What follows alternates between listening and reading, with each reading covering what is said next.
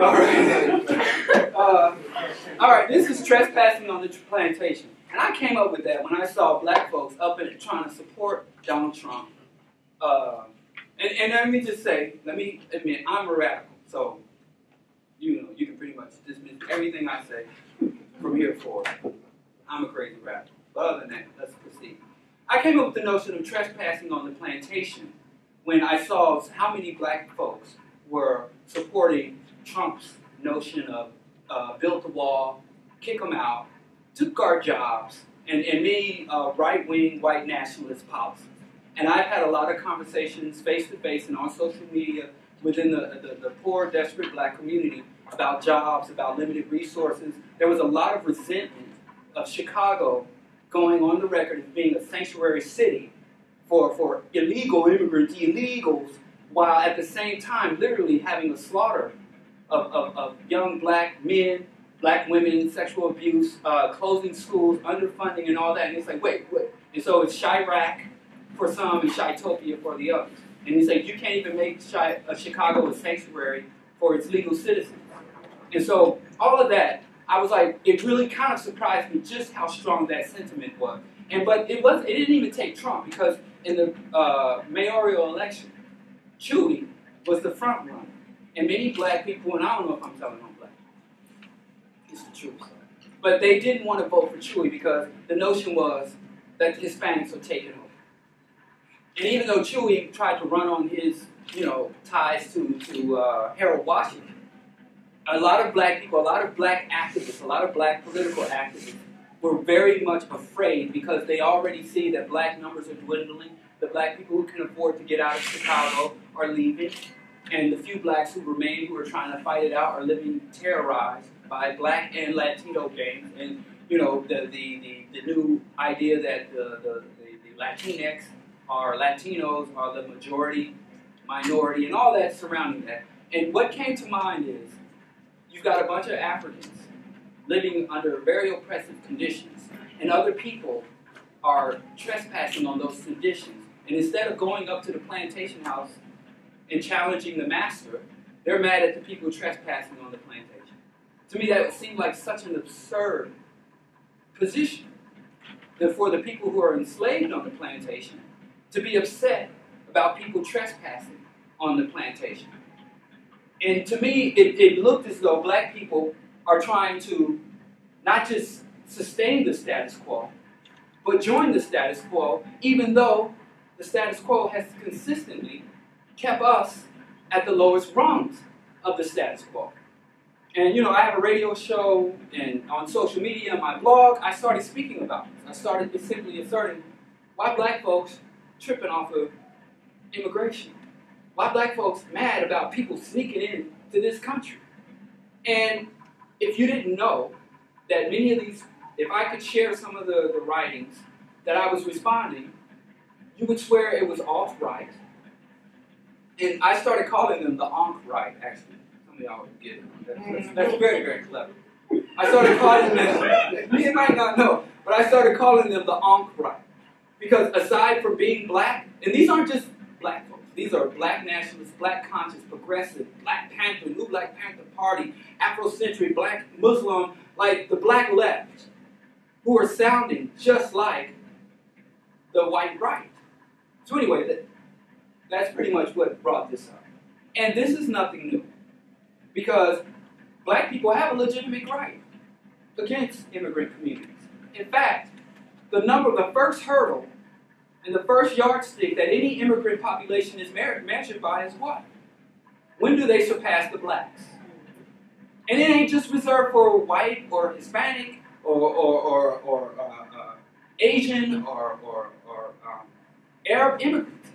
There was an article in New York Times about a decade ago saying that African immigrants have finally surpassed blacks in America. And they're like, why? Why? What, what, have, what is this great thing? And what are these wonderful principles and values and actions that the black, uh, the, the African immigrants are exercising that the, the, the black are, are, are doing, that are failing to do? But it goes all the way back. Remember who the white niggers are? The Irish? And how did the Irish rise to prominence? They went to the WASP and said, hey, you know, and they's like, what? And the wasps were like, what do you want, you backstabbing, dirty Catholics? It's like, listen, we'll come up the paddy wagon, we'll watch, we'll police, we'll torment the blacks on your behalf. And so that was probably, you know, and first, and even let's go back before that. The Iroquois Confederacy, the civilized tribes. They were like, hey, how can we come up? There's a new system, there's a new sheriff in town. This used to be our country, but now the Americans are here. We were just keeping it warm. You know, white natives were keeping the country warm for the white man. And they, all of this, the recognized civilized tribes, all members of the Iroquois Confederacy, all uh, treaty holding tribes owned slaves, trade slaves, and made a handsome profit pursuing and capturing and returning slaves to whites. And then what? As soon as we got a pistol, what do they say? Buffalo soldier, dreadlock rasta. So buffalo soldiers were hired to go and kill Indians. And black people enthusiastically was saying, you know, I, I can't get permission to kill white, but, you know, I get to, uh, permission to kill the Indians who were my tormentors. And so this issue of victims of the larger status quo, victims of the system of, of, of, of, I don't like to call it white supremacy, I call it white domination. And uh, to me, there's nothing supreme, you know, when you really look at the, the notion. I mean, just for, I mean, cosmetics.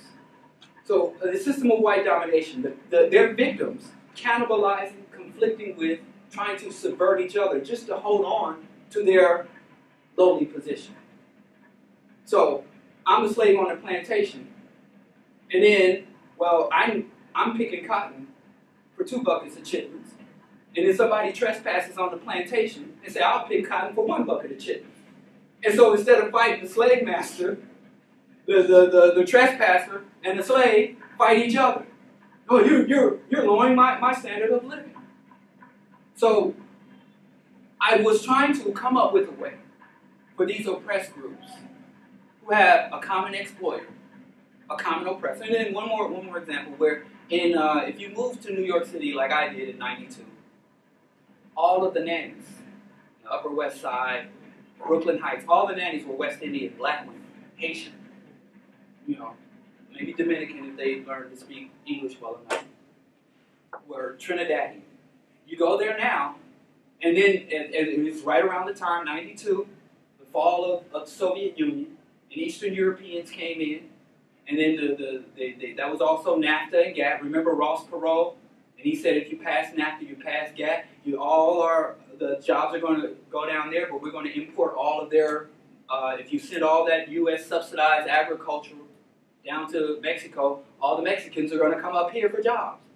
And so now you can, you'd be hard pressed to find a West Indian nanny. And literally the nannies didn't never rose up and say, wait, I don't have time. My children are at home getting caught up in the drug game, going to substandard schools, living in substandard housing, eating substandard processed food, developing chronic diseases as a result. They didn't say, well, this whole system is whack. They were like, how do I sustain myself in this lowly position? And these people who are lower than me trying to displace me just to get a little come up.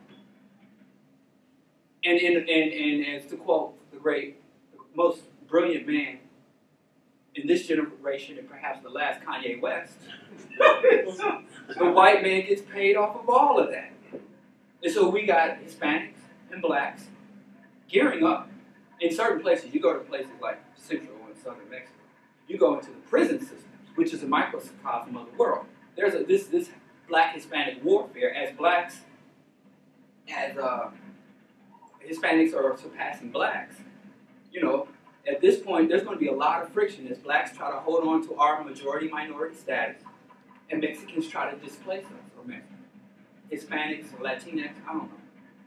You know, if I say a word that's offensive to you, just put your hand up and I'll use some alternative word. It means supposedly means the same. As there's going to be all these conflicts, and black folks is losing. Because if we didn't have nothing else, if we, if nothing else, since after the 13th, 14th, and 15th Amendment, black folks had citizenship. And that allotted us some level of status, even over the immigrant population. And as that becoming less relevant under uh, sanctuary cities, under globalization, under more and more uh, people, third, fourth, fifth generation immigrants also holding citizenship status. And I thought it was absurd for black folks, which is what we're doing, to try to fight to maintain our, sub, our subhuman position and to avoid being sub-sub. But it, it is rational. It is quite rational to have those fears, but it's not really, in the long run, going to be effective. Or as my, my Jamaican Rasta friend said, even if you win the rat race, you're still a rat. So, what are some real solutions? I know everyone likes to talk about coalition building. And you have a lot of people, black folks, especially black activists, less so to say, they can't say black without saying brown. Black and brown, this, black and brown, that, black and brown, black, they can't say black without saying brown. And that's wonderful rhetoric. And then the first thing I ask these black and brown advocates are, well, before we can have any real relevant alliances, what is the status of black people in the Caribbean, Central, South, and Latin America? What is the status of blacks? People there. Because if I'm, if you come to the United States and as you cross a certain uh, imaginary line, you go from being white to being Latinx or Latino, Spanish or whatever. You, you, you literally, magically. But if you go back, cross that line, you become white again. And so you look at places like Brazil where there's more black people. You know, George Bush found out and told the rest of us that there's actually black people in uh, Brazil and more black folks than here. There are over a million Afro Mexicans. There are, I mean, look at the situation between Haiti and the Dominican Republic. And so that's another thing where they talk about, well, instead of fighting each other, instead of conflicting with each other, how about we build this coalition? And just in the previous uh, excellent presentation, we were talking about Cuba. Racism is rampant in the status quo and the, uh, and the order of the day in Cuba. So if, if black folks see that, well, these immigrant populations, even though it makes sense for us to unify, we see evidence that when y'all do get in power, where, where y'all do have power, where y'all do exercise some level of authority, y'all treat us just like, or treat our our, our, our uh, brothers and sisters in Latin America just as bad, if not worse, as we get in here. So can we have it? And, and then, if we're going to have, and you can say, well, I, I'm, I'm an immigrant. I'm not of the power structure. But we all know that systems, you know, don't aren't just the elites. And I know we like to blame the elites and, and this and that, but you know, I've never seen a Rothschild, you know, lynching. You know, the working class people, the lower class, the wretches of the earth are also participants because the system wouldn't be able to sustain just the elites. Can you imagine Trump Tower just being built by Trump and his family? Would you, you know, walk in there? And so it, it, it, takes everybody. It takes the village. you know, an oppressive, racist, genocidal village, but still, it takes a village nonetheless. So these are the issues that I think we overlook. And in trying to ignore, overlook, or, or even suppress these issues and these realities will only play into the hands of the real people who, the elites, the economic, the social, political, genetic, the people, what I call the people who won the testicle lottery, who were born into wealth, and that's their only access to wealth. Can you imagine if Trump was born anything but rich, where he'd be? Um, so that is the thing. This is a plantation, and the United States is a country that's built on compounding exploitation. It was founded on slavery, genocide. It is sustained on compounding exploitation. As I stated, even if you're just a good all American saint like the sister here, uh, well, hey, I'm giving you a compliment. Even if you're a saint, in order to keep my lights on, I have to turn your lights on. You know, in order for my kids to avoid having to go to a crappy school, I have to participate in a system that creates crappy schools for your children. And for my children to have nutritious food, I have to, you know, make hot Cheetos available at gas stations and food deserts for your children. It's a system of compounding exploitation. So ultimately, it's really irrelevant. Where, because even the people who are like, build a wall and keep them out, And one of the, you know, who here knows about, uh, what's his name? Uh, Dr. Uh, Claude Anderson. Powernomics. He wrote a book called Powernomics and another book called uh, White labor. White labor. White, black labor, white wealth. Black Labor, White Wealth. He's one of, and very progressive, very liberal, very justice-minded man. But he said the Hispanics, the immigrants, are coming here to eat black folks' lunch. And he suggested that black people unite with the white right in order to fight against it, even if it meant abandoning our long-term loyalty to the Democratic Party in order, because he said immigration is one of the top problems facing black people. Because we didn't, we barely got anything when we were number two. So what are we going to get being number three? What are we going to get being number four, five? And there's, uh, as a, to, to, to quote uh, Church here, the little matter of genocide. Black folks are not, you know, there's the old rhetoric, black folks breed like rabbits, and, you know, all they do is sit around and have babies. And, and, and all the, the, the, the horrific stereotypes, you don't even hear those stereotypes. They, they have to go, and these, and I felt bad for them, because, you know, these racist whites are very, not very smart or creative people. But they had to go back to the drawing board and come up with new black stereotypes, because those stereotypes didn't fit anymore. You know, every single demographic in the city of Chicago, name one, the most obscure demographic, you know, Filipino gay salsa dancers. Any, every demographic in this city is growing except for one. And that's black folks. This city, Bronzeville, was a safe haven. We ran here with our behinds on fire, running away from lynchings, running away from this was the land of opportunity. And now, when you think of it, if I, say black homicide, if I say shooting, everybody, first thing that comes to mind is what? Chicago.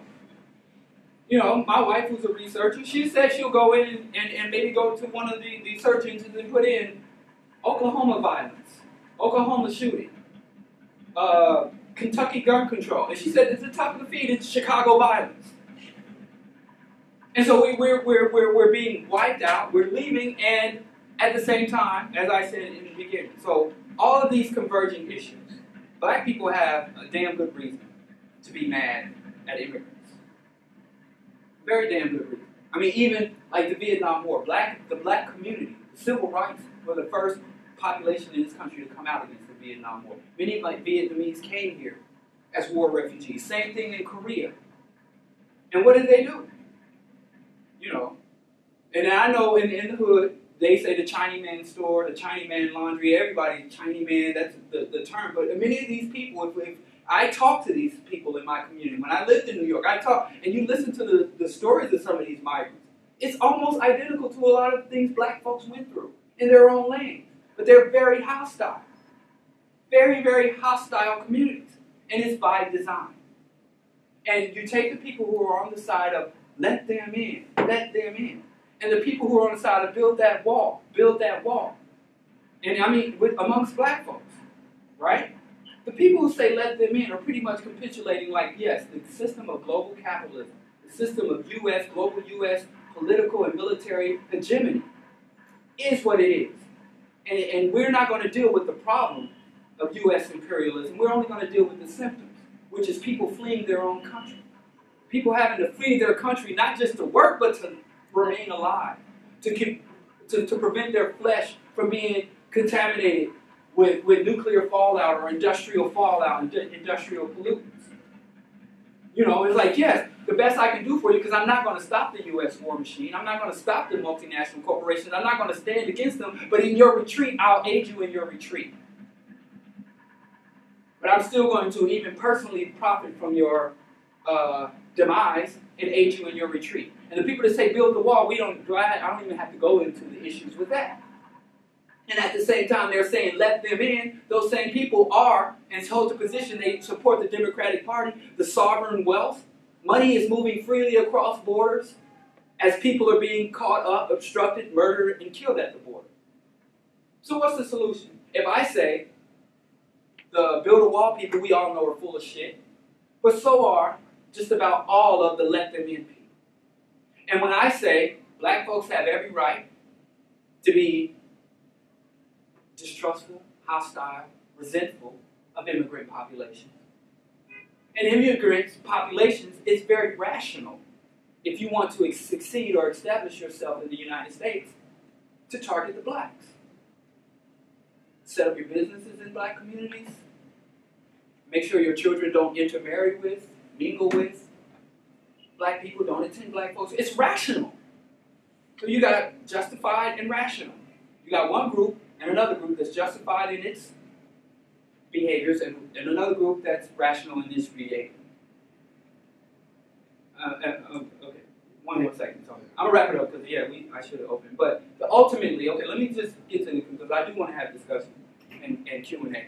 But the ultimate conclusion is the system, the economic system, the military system, is what really drives all of it and, and black people or immigrant populations, no matter where you come from, trying to join the status quo, trying to achieve within the status quo, black mothers at home trying to raise Obamas or raise our daughters to be Michelle, be, be Michelle Alexander, not Michelle Obama, is, is, is the core of the problem. And even when you look at model minority groups, number one, model minority groups, the position is not, I mean, United States got tensions on the Korean Peninsula, China, let me tell you, just like remember when Reagan was sitting across from the Mujahideen, sitting across from Islamic radicals saying these men are like our founding fathers. America can turn on you real quick. Just ask the Arabs, who prior to 2000 were model minorities, who were in Detroit, raising and then elevating themselves up Detroit, and, and, the, and the white conservatives of Detroit were using the, the, the Arab and the Islamic migrants in Detroit to tell black folks, look at how their achievements.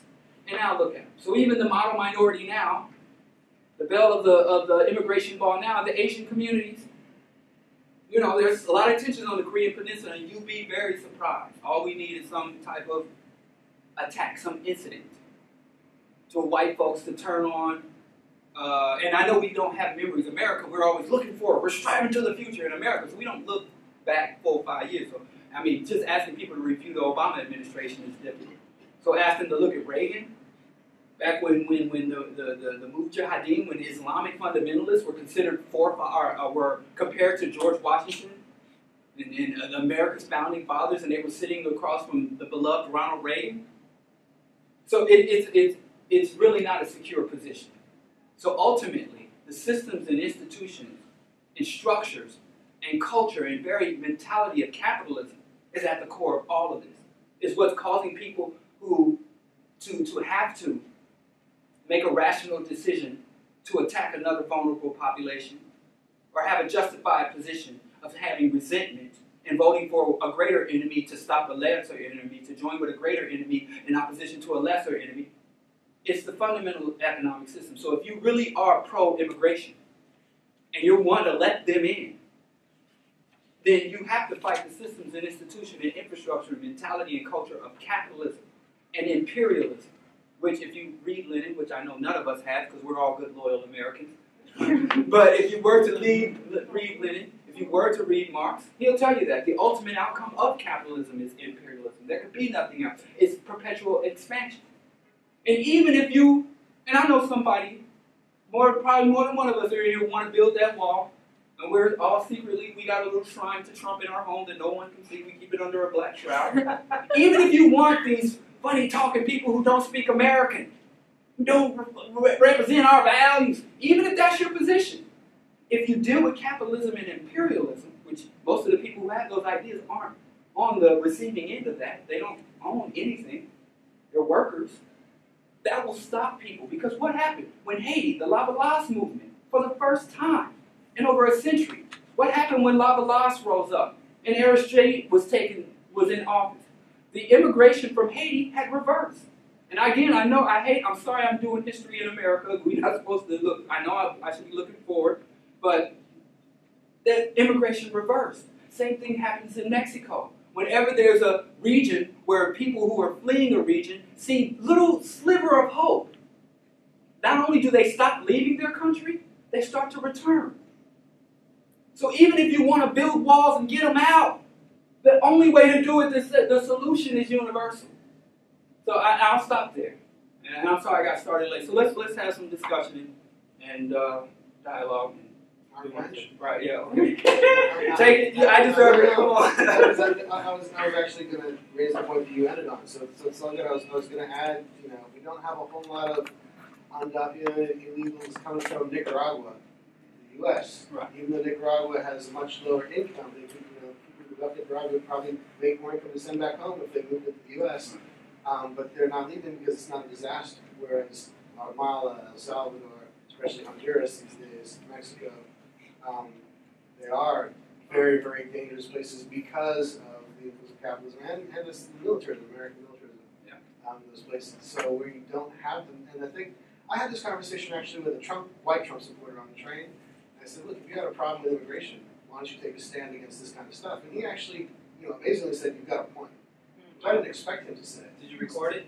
I should have recorded No. it. I should have looked it up. I should have said, "Here's my piece of paper." Right. But if a white Trump supporter would say it, I think, I Absolutely. Right, that's what I tell when I talk, when I have an opportunity to speak to, to white right. I'm like, listen, any place you don't like the people coming from, cut off the resources coming from there.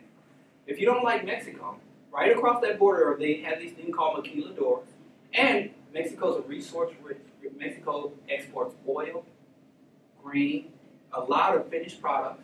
I'm like, if you cut off the resources coming from an area, any place you don't like people coming here from, cut off the resources, and I guarantee you that will reverse the flow, not just stop it. Because people are following their resources. Same thing in Europe. I mean, it's the same thing in Europe.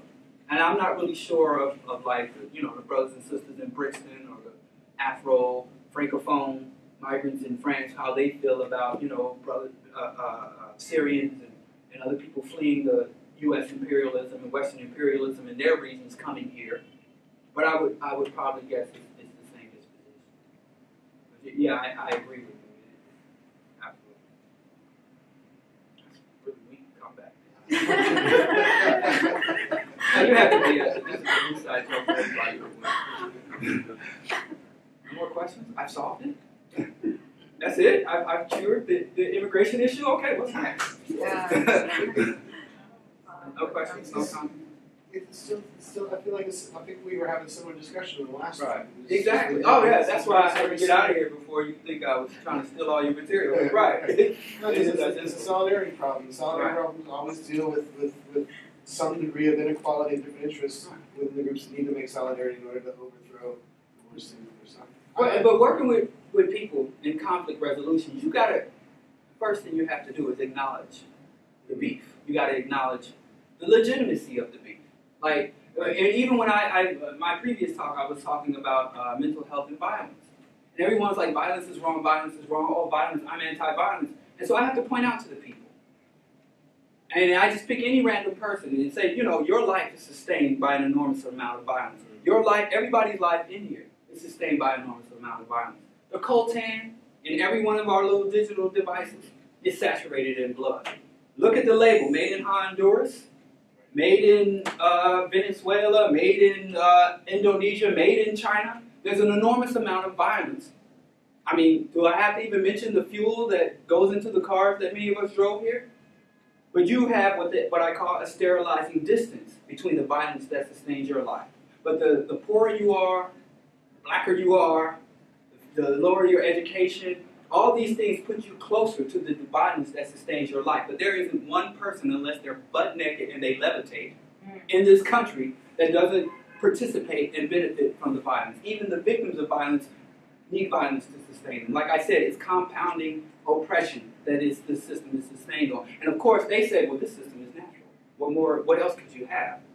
I was just gonna say that immigration is, I guess, not even a factor for people of color because they're not allowed to even set foot on it. It's mainly lighter skinned people.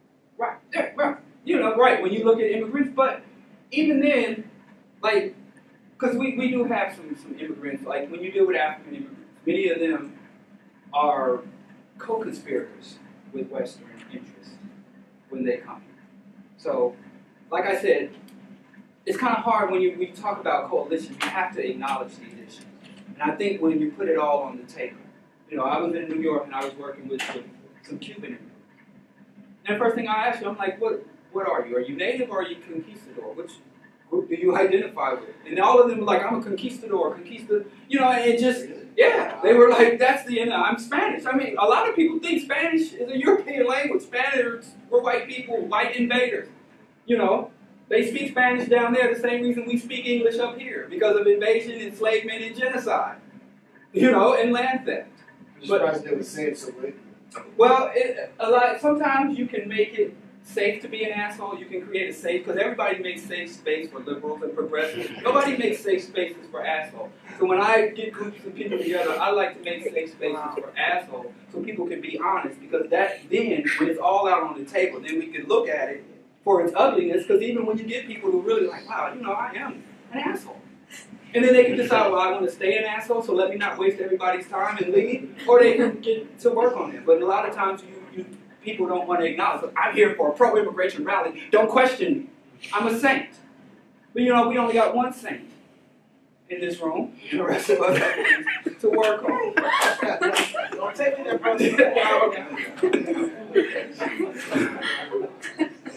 No, I was asking people. I told my price for selling out was forty million. I was saying, you know, the systems of capitalism could have got me for cheaper than they got Obama.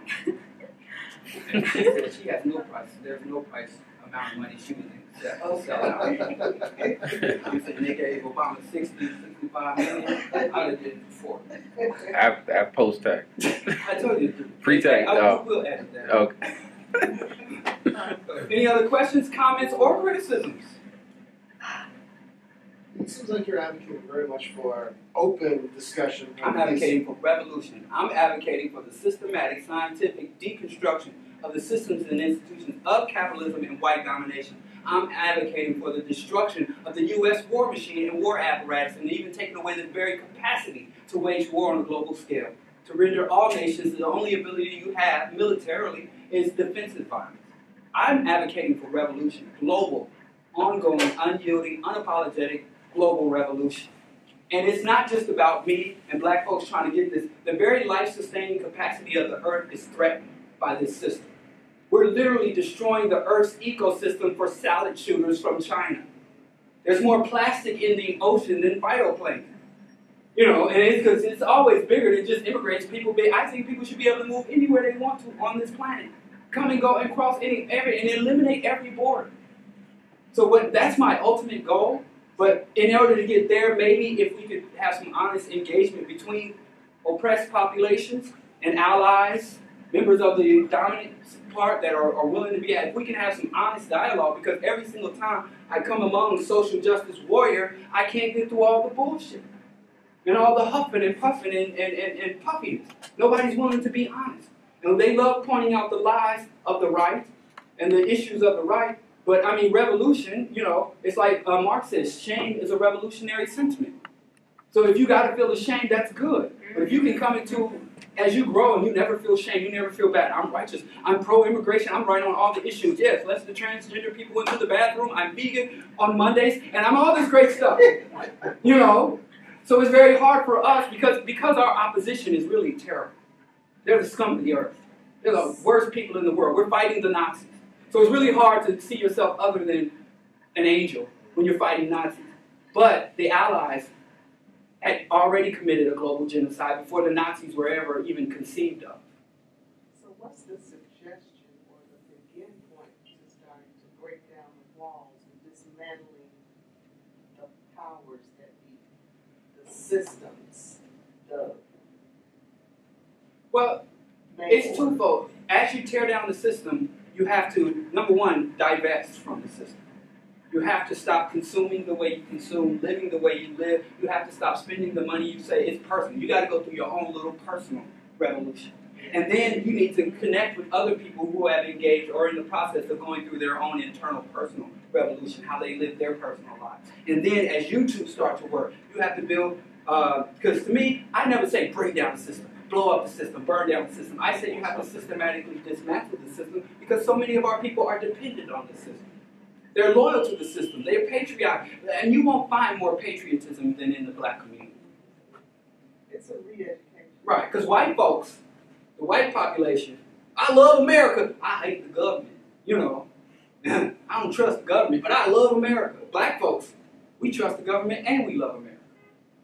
You won't find people more patriotic. So what you have to do is demonstrate to people in your community a cooperative candy store, you know, a community-owned property, a clean lot, a reclaimed a green space that is now growing organic, non-GMO heirloom seeds, and you would harvest the seeds and replant them somewhere else for the next season. It starts at that level, and as you start to get that dialogue, as you start to get that trust, communal fitness, it's all these things to reconnect people free of commerce. Even here, you have to pay money to come here. I'm not saying I, I speak at these conferences, I get invites to speak places, I go wherever people are willing to let me rant and rave. But it's really on a, community, community local level. And as you start to do that, all you got to do, because another thing, I, I hate that I'm quoting Marx, this is a Marx said. But he said the capitalist will sell, sell you the shovel for which you could dig his grave. That's how greedy they are. So then you go on social media, you go into these networks, and you start to find, you'd be surprised. There's brothers and sisters in Kansas, brothers and sisters in Sierra Leone, Nigeria, Haiti, doing the same thing. And you say, how can we coordinate? You know, on African World Order, our cooperative enterprise, we, where do we get that? Huh? Uh, Uh, Ghana. Ghana. Now we're doing cooperative enterprise and outreach with Ghana. You know, and, and, and so we and we're using the infrastructure of capitalism to subvert and render ourselves as independent as we can from capitalism. You can use the infrastructure of the internet by the which is a military. You know, the internet was a weapon, mm-hmm. DARPA, and you're using that to expand peace. You know, and connection. So you you have to, and, and, it's really hard because I don't like giving say this is what you absolutely must do because it depends on where you're organizing, and, and, and the skill set of the people and the resources and, and what's the concern. And so you know when I organize in my local community, when I was organizing in New York, the, the, the community had different concerns than here in Chicago. When I was organizing in Kansas City, you know we opened the very first vegan restaurant in the entire Kansas City area. You know and we were bringing people together from all walks of life. And we didn't make, you know, zucchini steaks. You know, we were making tacos and vegan chili, like hearty Midwestern food, barbecue tofu, Gates barbecue. So we were connecting. So the thing is, it's just demonstrating to the community that they can act, they can sustain themselves without hyper exploiting the environment or hyper exploiting and out competing their neighbors. They can they can do better, live better, without having a Mercedes or all these expensive material things to sustain, share resources. To just start being a revolutionary. And and that's a lot of people, you know, revolution, ultimately, the most successful revolution are the academics, not so much the, the armed insurgents. But if it comes to that, hey, you know, have your little communal fitness, you know, y'all go train in the park too. If people come to threaten what you're building, Gotta get ready for it. They want to pull a Rosewood, you know, they want to pull a Black Wall Street talk talk. You gotta be prepared for that too. But right now, we're not even at that stage. We're at the, the, the, really fun stage of, of awakening and blossoming, the good stage. We're not even at that hard stage yet. Maybe that won't even come. And we have to realize this is a multi-generational struggle. We didn't get here in a generation we didn't hear. We kind of think, being lost into thinking, oh, I want to see change in my life. And I was hoping that Obama would be the end of the integrationist movement. Because from Booker T. Washington to Obama, we've been on that integrationist kick. I was hoping that he would finally demonstrate the futility of that. But not yet. I don't know what. Maybe a black pope would get black folks wake up to having black folks in high positions don't mean nothing for us if there's no fundamental change in the system, in the economic structure. Any, other questions, comments, or criticism? I think the last point about the, the multi-generational and intergenerational, because that's one of the biggest struggles here in Chicago right now. Is it is it as younger generations, and I am no longer a youth, and I'm okay with that. but that's who's doing a lot of work right now in Chicago are the youth, and because the youth are coming at this an intersectional uh, stands of how they're doing movement work. You have the older generation who's anti that because they want to argue about is you a girl or boy and he's you sleeping with being a woman. So it sort of gets reduced Right. to s- very personal. How you sleeping? How you identify? What on God green earth does that got to do with the fact that Laquan McDonald got dead? I mean, so the the intergenerational part, I think, is, is very real, um, and we're getting stuck there in places like Chicago. I can't say it's mm, yeah, other places too, but I see it in a different way here of how we're getting stuck, so that it's not intergenerational, and that young people out here on their own.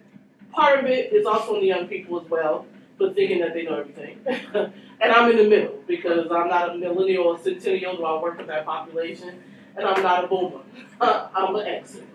and so being in the middle, I see both sides, and I have no issue with working with boomers and elders and you know uh, my grandmother's generation. I personally don't because I was raised around that. They necessarily wasn't, so they have a different perspective. So I think this intergenerational part is what we're seeing in Chicago that has become very problematic. Or and you have older generations that say, no, I just will not mobilize you. I just will not work with you. To the younger people, because they are saying we are not doing this the black male way. We are intersectional. Women are at the table. We're not pretending like they're at the table.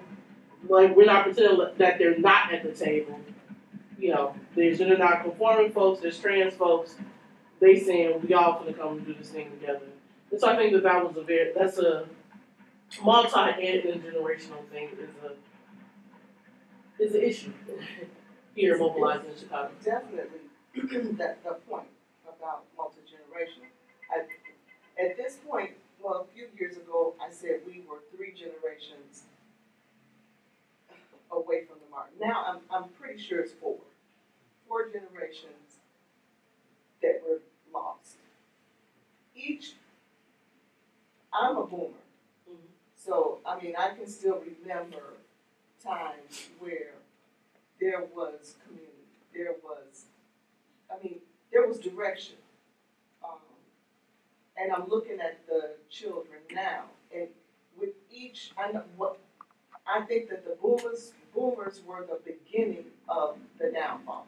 I'm gonna give it to my generation. We started because we wanted to give what we didn't have, and we gave too much. And It's there's kind of like. Y'all kind of received. Right, that's kind of like, yeah, Hey, come on. on for loving you too much. I love too We did, because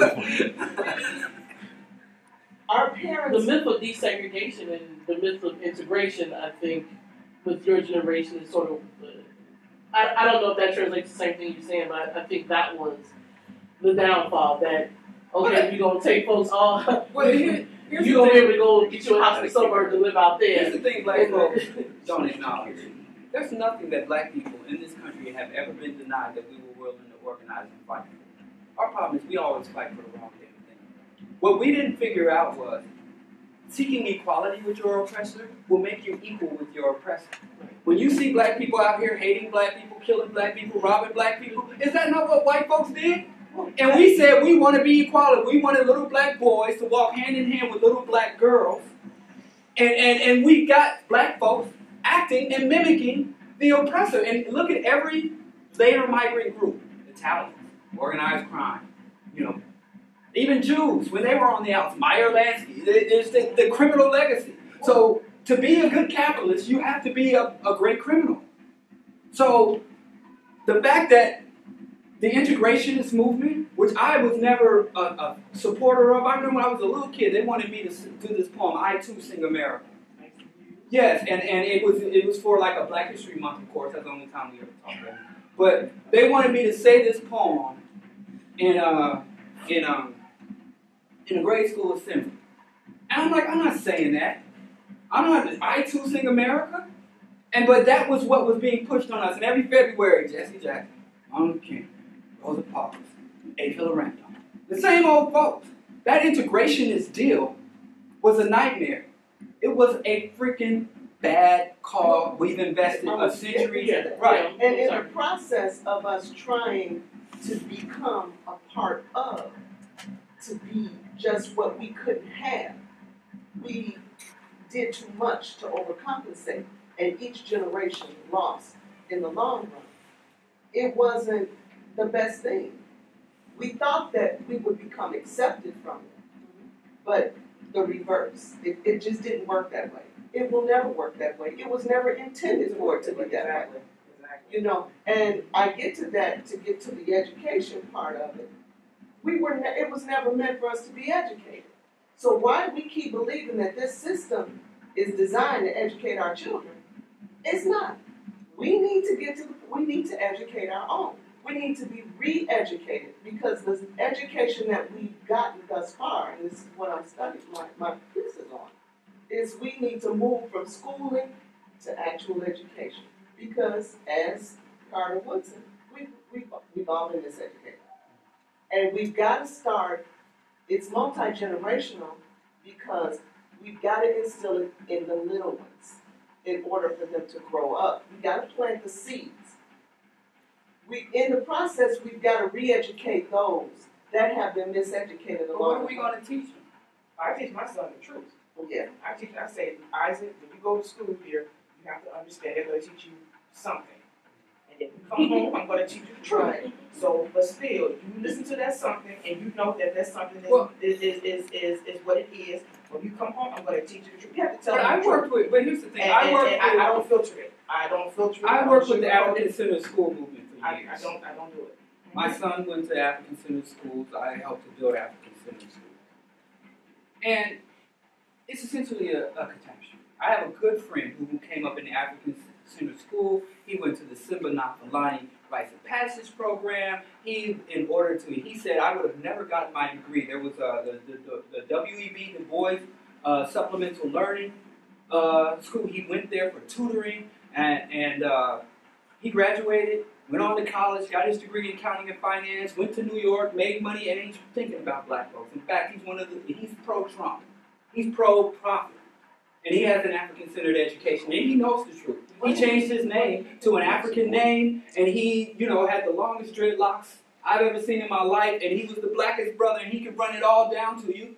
But rationally, an African-centered education in a Eurocentric economy, because education essentially is there to help you navigate the system that you're going into. Mm-hmm. And the problem with African-centered education is we're not teaching. If we're not, we could. Here's the thing: nobody's teaching our children to be gangbangers. Nobody's teaching them to be drug dealers. Nobody's teaching them the things that they're doing.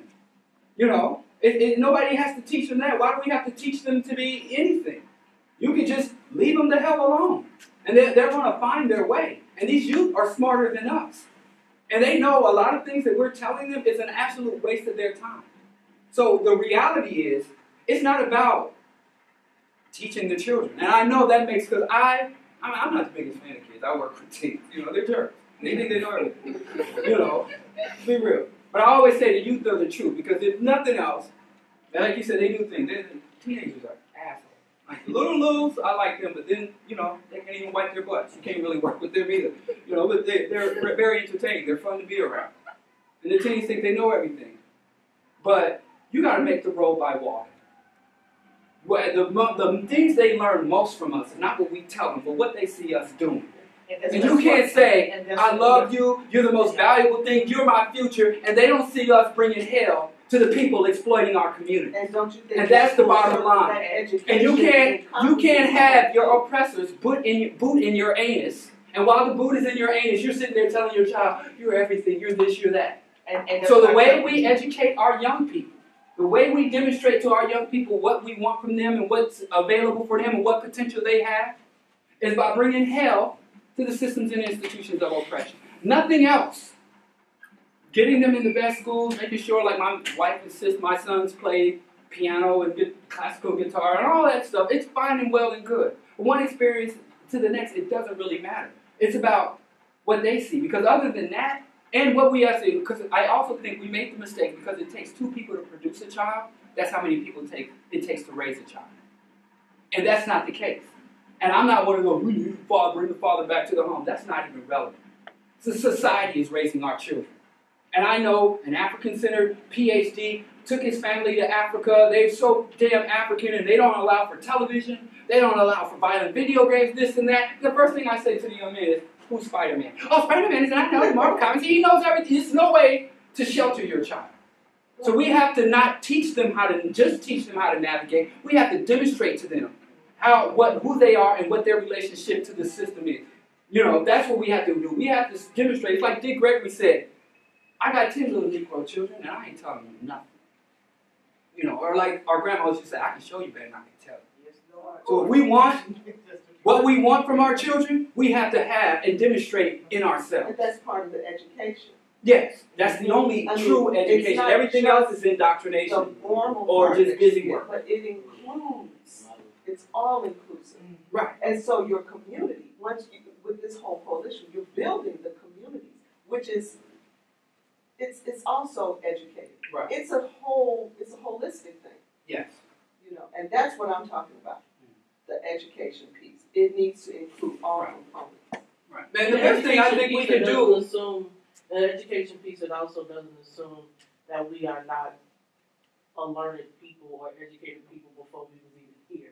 I think that's, that's one of the biggest misconceptions, misconceptions And, and that happens over, and I don't know where, I don't know when it happened because when I was in, I'm not that far removed from, though they think, though I work with young people as well. Though they think I'm a thousand years old, I'm not. I'm not that far removed from them. And I missed where it became to be dumb, stupid, or act like you are, because none of them are dumb and stupid. um, to act like you are was what to do. Like, I, I missed the memo on that one.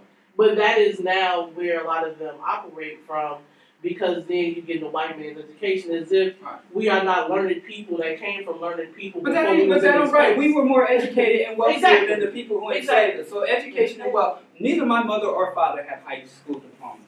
My all of my me and my brother and my sister, we all went to college or went on to, to, to highly technical training after high school and graduate degrees. I'm no more freer than my mother and father. I have no more power or stake in this system, and in many ways, I'm more vulnerable than they were. You know, so it's we're not going to educate our way out of this because we, as you said, and as Del Jones said, we came here educated. And we're not going to earn our way out of this issue. We're not going to build black business and support black business away because we had more commerce. We've been engaging in commerce longer than the people who enslaved us, who colonized us. So this is not an education problem, and it's not a morality problem. They didn't go up to say, "Hey, are you a moral African?" Well, yes. Okay, sorry. How about you? Are you? No, I'm immoral. Okay, let's put him in the slave ship. It ain't got nothing to do with. And, and, and as Dick Gregory said, don't ever. It ain't because we black. It ain't because we black. It's because they're white. They could. Uh, I mean, they arrived on Africa's shore already knowing how to enslave, colonize. Just ask the Irish. You know about you know what kind of break. You know, ask European jewelry. European Jews. Ask the Roma people.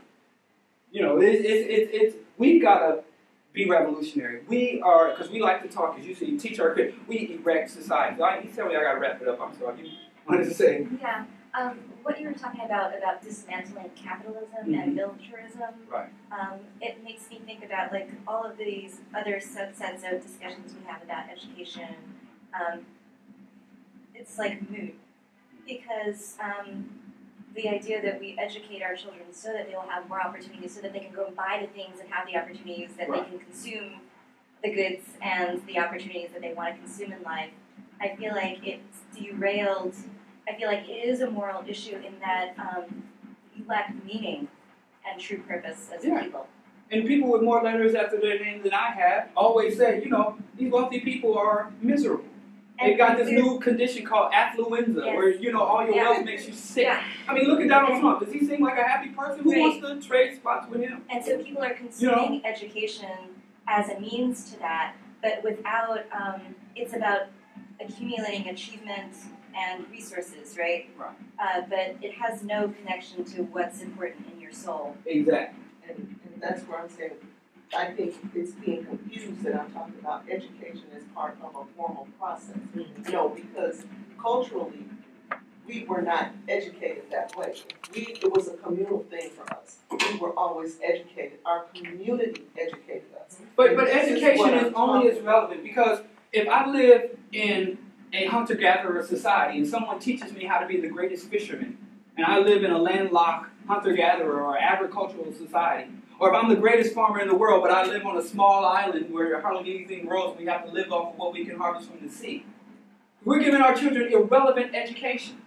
You know, I when I want to, I can speak the Queen's English.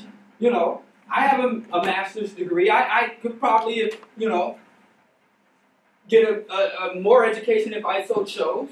It, it, it, it don't mean nothing. Trump is a freaking idiot. George Bush was an idiot. This is about power. This is about organization. It's about the fundamental protocols and processes of how the society runs. What's more important than my child knowing how to, you know, solve for fraction is how to engage with other people and form functional ties and have functional engagements with other people. And you'll find a lot of these gifted kids, I work with some kids that are Oh, gifted, Jesus. they are totally socially retarded and socially dysfunctional. And you can't reform education to fix that. How many reforms has the American education system been through? There was a time where the U.S. talking about it. I'm not Oh. saying that we need to continue to go through them for them to dictate to us. Even when we did it ourselves, what I'm telling you is I've worked where in an all black education system, and not just black, but conscious, progressive, revolutionary, pan African, African centered black, running off of uh, curriculums written by people like Molefi Asante. And they have the same outcome. I've worked personally with people that went to the Garvey School and graduated from the Garvey School and had education. I was part of helping to erect the first uh, school system where they had African centered education from kindergarten to high school in the entire nation in Kansas City, Missouri. Starting with Chink going up to the, this, uh, the uh, eight schools, African uh, uh, co- collegiate education. And I'm telling you, African centered education is just cosmetic. It's no different than putting, if I stood up here instead of in, in, in a, a t shirt and wearing a dashiki, you know, with a fly whisk. Telling you that's cosmetic. Education is only as relevant. It's, it, education is, is supposed to, as uh, Kwame Ture said, it teaches you how to live in the society in which you dwell. The number one thing African-centered education is doing is producing better black students. And what do those better black students do? They go on to Harvard, they go on to Yale, they go on to Dartmouth, and then they go on to Wall Street or become government bureaucrats. And then they perpetuate and they achieve, and yes, they have a higher consumption capacity. That's why I have to tell my young people the only difference between you and Oprah is consumption capacity. They all know who Dr. Dre, the billion, the first billionaire rapper in the world, and he was laid across the hood of his car on the front lawn because a white man made a phone call to the police. There's a, a, a headline article on, on VladTV.com about how Serena went somewhere and was facing discrimi- discrimination. Now I'm telling you, you can't educate your way. Because what do they call a nigger with a diploma? Nigga. I think A you're nigger. saying the same thing that Right. I'm saying. But I'm just saying, education has to be within a large, and and Yeah, uh, education has to happen within a larger revolutionary structure, or else it's just cosmetic. All right. That's why it has to, the, the, the, the structures, the protocol, the institutions have to be there. All right, okay.